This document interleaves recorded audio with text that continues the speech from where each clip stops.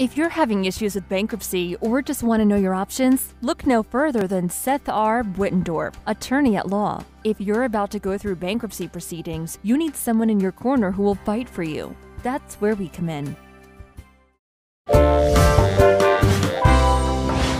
Seth R. Buitendorp, attorney at law. Call us or visit our website today.